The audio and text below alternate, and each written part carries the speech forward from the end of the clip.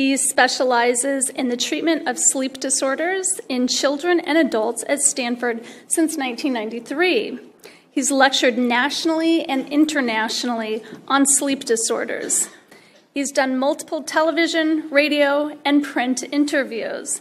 He is originally from New York City, where he attended medical school and completed training in child neurology. He has served as chair of the Sleep Disorders Research Advisory Board of the National Center for Sleep Disorders Research at the National Heart, Lung, Blood Institute at the NIH. He chaired the Pediatric Special Interest Section of the American Academy of Sleep Medicine. Along with Dr. William Dement, he teaches the Stanford Sleep and Dreams course to hundreds of undergraduate students. Together, they co authored the course textbooks. So we're really in for a treat. Please join me in welcoming Dr. Pelayo. Thank you.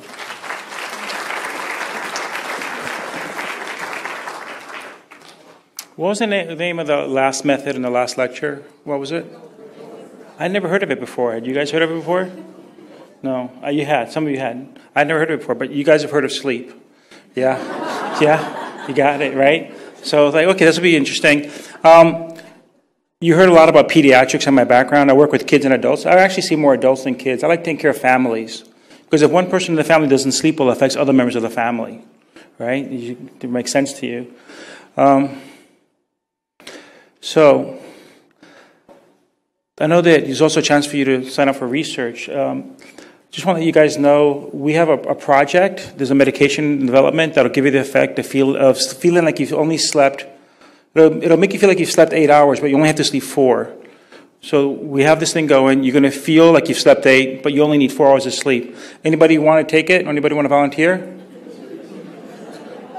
Nobody even asked the side effects. Private parts can fall off. You don't care, right? I mean, I want you to know, I want you to think about sleep a little. We don't have such a thing. It's never going to happen. We're not going to get rid of sleep. Okay, we have to sleep. The question is, why do we sleep? Uh, one of the early sleep researchers said if sleep has no function, it's the b- biggest mistake evolution ever made. Right? Because think about it, it's kind of odd if you think about it. Like, why do we sleep? What's going on? So, I'm going to talk to you guys about sleep and how it affects our lives. Let me, I'll, I'll change slides every now and then. Normal sleep, what can go wrong, how to fix it, and some Q&A. Now, I think that the way you sleep is a reflection of your life, and your life is reflecting the way you sleep. It goes in both directions. Okay? So, in reality, even though I, I, work in a sleep clinic, I don't take care of sleep problems. I take care of people who are awake who feel that the way they feel when they're awake is attributed to their sleep. Right? So it is goes in both directions. Little kids, this happens a lot, right? And if some person doesn't sleep well, it affects other people in their family. How many of you don't think you sleep well? Raise your hands. Okay. How many of you, um, your partner sleeps fine?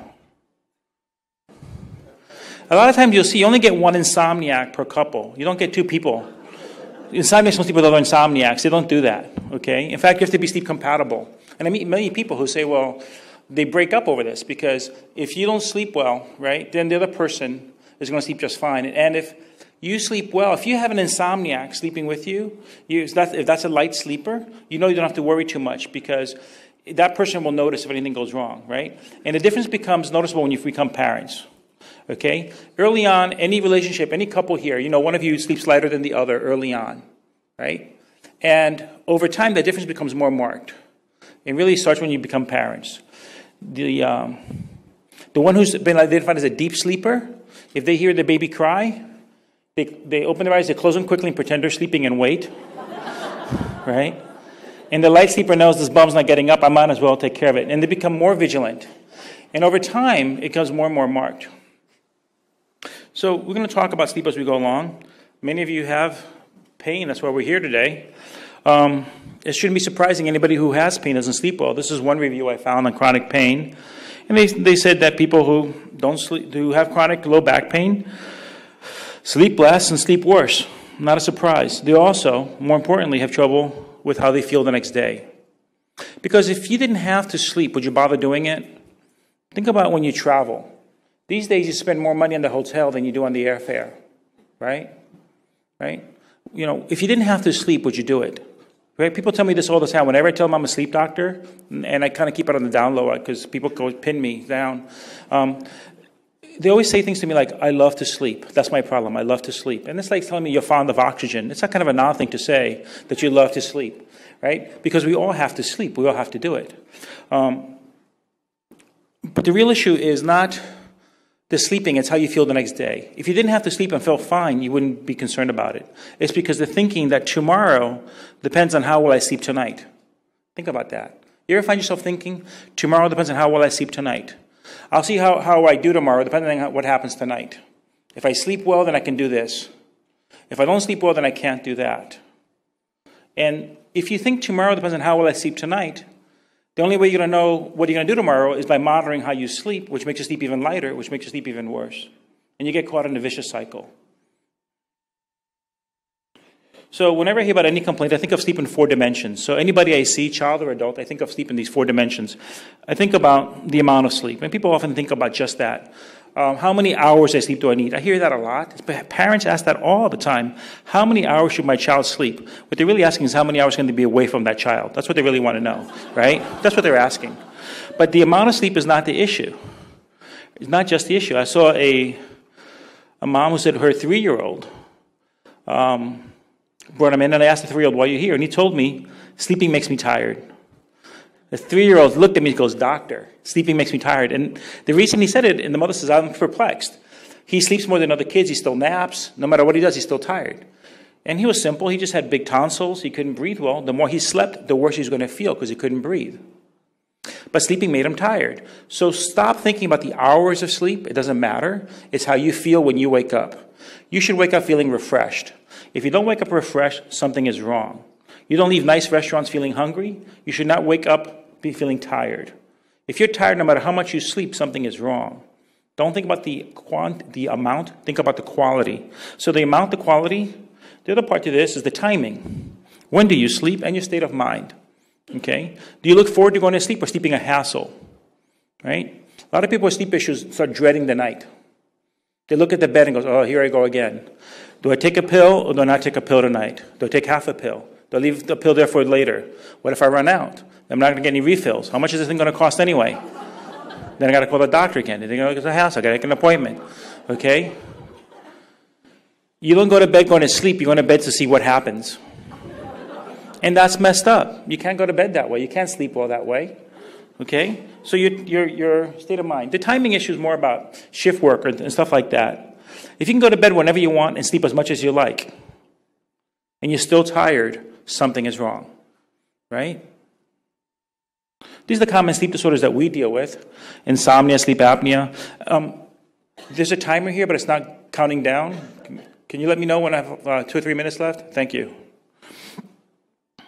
These are things that we deal with at work on a regular basis. The fun thing about my job as a sleep doctor, almost everybody gets better. It's unusual for somebody not to improve.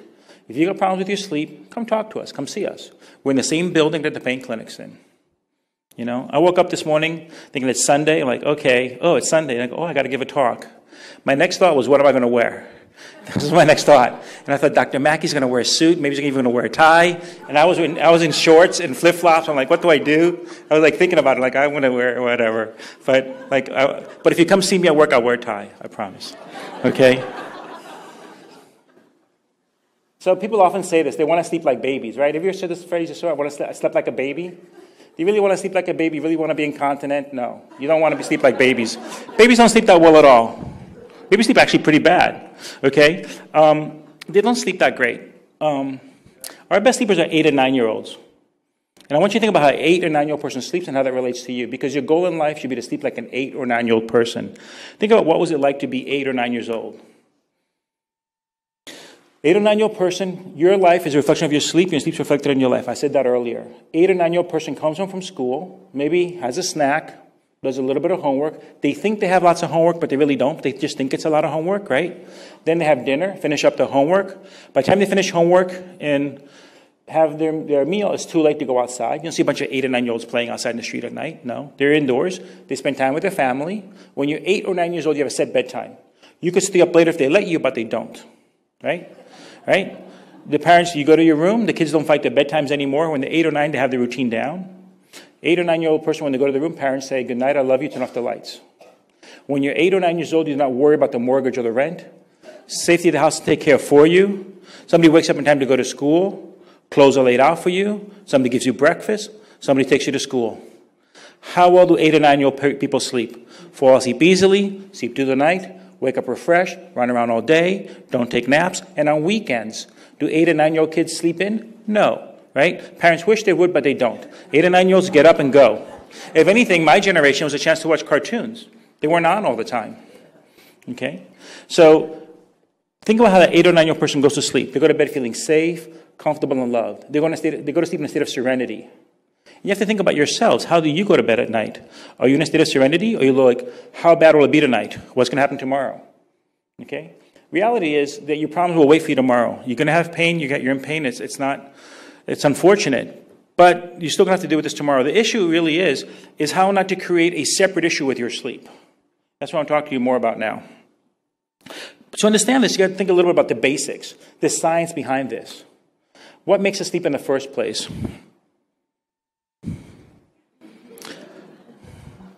As I said earlier, there's a paradox of sleeping, and people with sleep problems have, are caught in a paradox. Okay? The paradox of sleep is that we have to sleep for reasons that are not entirely clear. I'll talk a little bit more as we go on, but we have to sleep, but you're at risk of being attacked whenever you sleep. So the body must protect you while you're sleeping. And all animals that sleep protect themselves while they're sleeping, and we're no different. Some new science has come out about how the brain works in sleep, and it turns out that the spinal fluid in our brain circulates faster when we're sleeping than we're awake. And the thinking is, you know, if you think about the brain as an electrical organ, it's the brain that has to sleep, not your lungs, not your kidneys. It's your brain that has to sleep. And this electrical organ, called the brain, has waste products, and they actually get flushed out during sleep. So there's literally, you're washing your brains at night. That's what's really happening. Okay? There's some new science behind this. This may be tied into Alzheimer's, for example, where the system may become impaired and metabolites and things that shouldn't be left behind get stuck in the brain and get left behind and start to interfere with how the brain works. They think about like your car's fuel. If it starts, the fuel tanks get sludge and junk in it. It just runs less efficiently. This idea that while we're sleeping, we can be attacked. All animals protect themselves while we're sleeping. And the example I always like to use is this simple one from dolphins. Some of you probably know this. But think about dolphins' world swim fast, avoid sharks, eat fish, breathe oxygen. How does a dolphin sleep? You guys know? Some of you must know. Half the brain at a time. One half sleeps, the other half stays awake. You were raising your hand, sir? I'm sorry. Got it. Thank you. Okay? But that's the point. The animal can swim and sleep at the same time. And actually, in the school, the ones on the outside have, they coordinate which half of the brain is, is on. So that, because I only need to be looking over here if I'm in a school. I can sleep this half of the brain because I got a dolphin buddy next to me. And the other one, the other side, is doing that. And birds that migrate do the same thing. They change positions based on how they're sleeping. Because birds that migrate also can, can sleep and fly at the same time. How many of you would like to do that yourselves right now? Have the brain going on, right? So, what about us? Okay? We're not swimming, we're not flying, we're, ter- we're here. Humans do not sleep eight hours at a time. That's a common mistake. We sleep in spurts just like other, other animals do. It's a misconception to think you, you slept eight hours in a row. None of us have ever slept eight hours in a row. You never have, and you never will. Humans only sleep about 90 minutes at a time. Every 90 minutes, all humans open their eyes, make sure everything's okay, close your eyes, and go back to sleep. You don't remember it. All of you do it. Little kids, babies, every hour, if you watch them, if you come to the sleep lab, put wires on your head, we watch you, you'll see every hour they wake up, change positions, go back to sleep. Only for a few seconds. If you really slept eight hours in a row, wouldn't the lions and tigers figure that out and pull us out of our cave at 3 o'clock in the morning, right? We sleep in 90 minute spurts. We all do. Okay? Every 90 minutes, we all wake up, make sure everything's okay, and we go back to sleep. That's how it goes. The different kinds of sleep. You heard of dreaming sleep, REM sleep, right? Dreaming sleep is about two hours per night. All of us dream every night for about two hours. Okay? And then there's this non dreaming sleep, this deep sleep. That everybody who has pain issues will always talk about their deep sleep. But there's a kind of sleep I want to tell you about that often gets ignored in all these conversations about sleep, and that's called stage one, our lightest sleep, how we enter sleep. So we, in light stage one, fall asleep, wake up briefly, fall back asleep, stage one, and we can do the cycle all night long. The thing about stage one sleep is you think you're awake when in fact you're asleep. Go to any monotonous conference, you can't believe the speaker's droning on and on, and you're going to look around the room, somebody's head nodding, eyes rolling, eyes closed, head drops. We've all seen it. If you nudge that person, what's the first thing they say? I'm awake. I'm resting my eyes. Right? They're asleep. Okay? No point in arguing you're asleep. When you have very light sleep, it feels like you're awake when in fact you're asleep. And that's what's happening with many of you who have pain problems. Your sleep is so light, you may think you're awake when in fact you're asleep. And sometimes, some of you, and some of you are nodding your heads already, um, your, the, your, your loved ones will say, Oh, after lunch, you know, I ask a patient, Do you, do you take a nap? Your loved one say, Oh, he, um, he goes to his favorite chair and he says, I'm just resting my eyes, I'm resting. You hear them snoring. They still say they're resting. Okay? That's what happens because your sleep is so light, it feels unrefreshing. So please understand that you may be sleeping more than you realize. And people with sleep problems are trapped in misconceptions about their sleep. The most common misconception I hear if I can't sleep, I should rest. And resting and sleeping are two different things. You cannot equate resting and sleeping. The dolphin is swimming and sleeping at the same time, right? Resting and sleeping are two different things. If we get up and did 100 jumping jacks, I'm not doing any exercises with you guys. I'm like, right? I won't do that. But if we did 100, 100 jumping jacks, you might feel tired. You're not going to feel sleepy. And if you've ever been jet lagged, you know it's not the same being tired and being sleepy. So a common mistake that people do, especially people in pain, any kind of chronic disability, uh, any kind of chronic illness and problem, they'll spend more time in bed because they got to rest. How do they measure the size of the hospital? How do they rank them? Number of beds. That's how they say it, right? You hang out in the bed right? All the time. Your body gets used to being awake um, instead of being in bed for sleeping. You give your body mixed signals. I'm here to sleep, or I'm here to watch TV and and, and unwind. Okay? Sleeping and resting is not the same thing. We actually want you to spend less time in bed. And if you spend less time in bed, when you do get a chance to sleep, you get back in bed, your body will sleep deeper. If I want to make you sleep deeper, I have you, have you spend less time in bed. The more time you spend in bed, the lighter your sleep will get. The more used to being awake you'll become in bed. And we'll get more into that in a moment. I talked about the timing of sleep. This is important for you to understand. We're land based animals. We've had excellent color vision, we have lousy night vision. All, everything that's land based has to do with the fact that the sun comes and goes. Very classic example hundreds of years ago, they saw these plants that open in the daytime and close at night, right? You've seen these plants open in the daytime, close at night. At night, they protect their leaves. Daytime, they open up their leaves.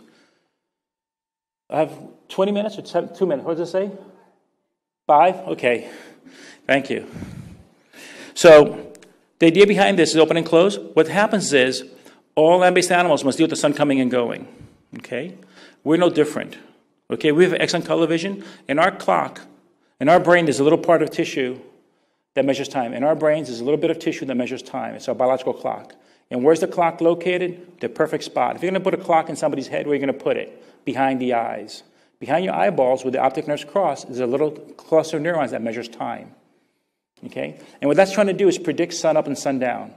If we were hunters and gatherers for real at one point in our lives, you needed to leave the safety of the village to go hunt. You had to get back before it got dark. When dealing with a planet where the days and nights get longer and shorter, Human sleep was probably seasonal to begin with. Okay, we, if your friends in Alaska, they'll tell you they sleep more in the winter, less in the summer. Right? We should take advantage of the days and hide away at night. So you need a system in your brain to do that. So it turns out that for all of us, we have two times a day we get drowsy, two times a day we get sleepy. All of us get drowsy after lunch. We say, oh, it's lunch made me sleepy. No, that's not true. Breakfast doesn't make you sleepy. Why would lunch make you sleepy? It's the time of the day. Okay? And after dinner, you actually get a second wind. All humans are most alert in the evening than any other time. Okay? If it is true that sleeping is dangerous, when should you be most alert? Before you go to sleep. So we get the second wind in the evening, despite, okay? But if you have chronic pain issues, you say, I'm going to go rest, I'm going to go to my bed earlier, you're now going to bed too early when the brain expects you to be awake, and you're swimming upstream. And that's why your, your sleeping pills won't work, because you're taking the pills too early. The right approach when I have somebody with sleep problems, I want you to go to bed later. I have a patient who tells me that they don't sleep well. They'll go, I go to bed at 9 o'clock, I take my medication, I wait an hour before it kicks in, and then um, depending on how it's going, I might take a second one or not, I'm not sure. And then I fall asleep around 11 o'clock, and then I toss and turn, and then I get up in the morning at 6. I'm like, okay, well, you're going to bed at 9. I want you to go to bed at 11 o'clock now, I tell them. And they say, I can't stay up that late. I say, yes, you can. You have insomnia. You can stay up later, okay? But the whole idea behind this is to go to bed later. If the, the, the, simple, the simple reality about sleep is the more logical you are in your approach to your sleep, the more you're going to screw it up. Okay? Sleeping is counterintuitive. Logic would be for us not to sleep. In Silicon Valley, if they invent a, a machine to replace humans, that machine, they're not going to make it sleep. Right? Who wants a robot that's sleeping? Right? So the more logical you are, the more analytical you are, the more you're going to screw up your sleep. The reality is that we have been taught how to sleep. That example earlier, I talked about bed partners. Okay? If you've got a bed partner, you've got your side of the bed, your partner has their side of the bed. You ever switch sides? No right? You don't switch sides, okay? The only time over, the only time people switch sides is when they get older and they have an agreement that one of them has to get up to the bathroom, and then whoever's closer to the bathroom when they're in a hotel, that's the only time they ever switch sides because they want to walk around the bed. Other than that, you don't switch sides, all right?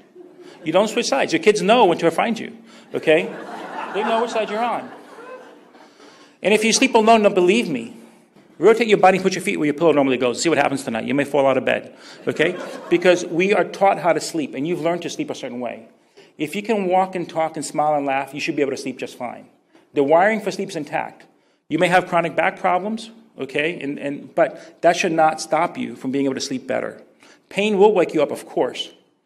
But what happens is once you start to worry about the sleeping, it becomes an issue of itself. So, you want to try to do is improve your sleep as much as we can. And if we improve your sleep, also, you may be more tolerant to pain because when people don't sleep well, they get irritable and cranky and not fun to be around. So, we've only got a couple of minutes. These are some of the behavioral things that we do with anybody who has sleep problems. We can help, we can self correct your sleep.